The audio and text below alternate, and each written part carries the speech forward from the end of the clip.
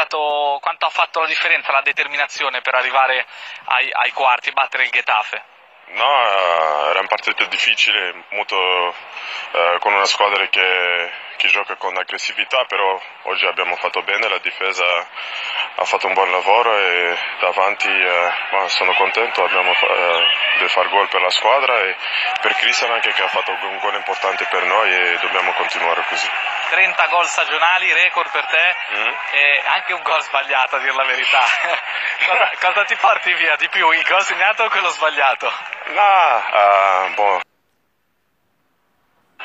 sono cose che, che, arrivano in calcio, però io penso adesso sto pensando alla prossima partita per, per, vincere e continuare a lavorare per la squadra e sono contento della vittoria di oggi. Ultima, quanto è mm. importante anche Conte in questo momento e soprattutto avere continuità nel, nell'avere Conte anche l'anno prossimo?